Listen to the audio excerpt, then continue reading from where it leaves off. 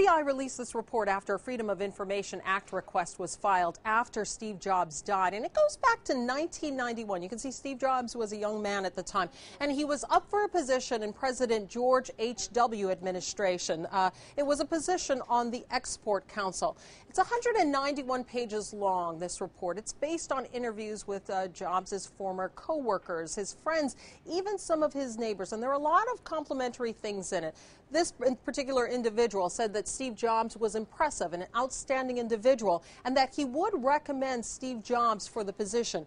But there was also some criticism included in this report. Another individual characterized Mr. Jobs as a deceptive individual who's not completely forthright and honest. He stated that Mr. Jobs will twist the truth and distort reality in order to achieve his goals. Now, there are details in this report, some that we have heard about before, including the fact that Steve Jobs had a daughter born out of wedlock and that he originally did not offer the child or her mother uh, much support, but that did change later on as the child got older.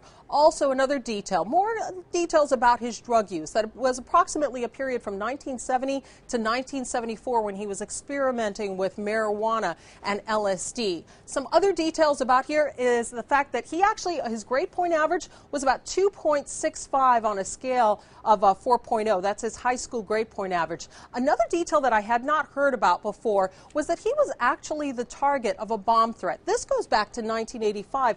There was someone who called uh, the Apple offices and threatened as that they said that they had planted four devices and that they would detonate these devices unless this individual was paid $1 million. Some of the details uh, that there was a San Francisco Hilton hotel, there was a table there. This individual said that he would place a note with further instructions underneath the table. The FBI was called in. They checked out the table. They checked out Steve Jobs' home. There was never a note found, and there were never any bombs. So the threat, uh, it was essentially a hoax, is what it was. So there's some interesting details about this. And the reason why we've been able to get a glimpse of, about all of these, this information is Steve Jobs himself actually signed a waiver allowing the FBI to do this check.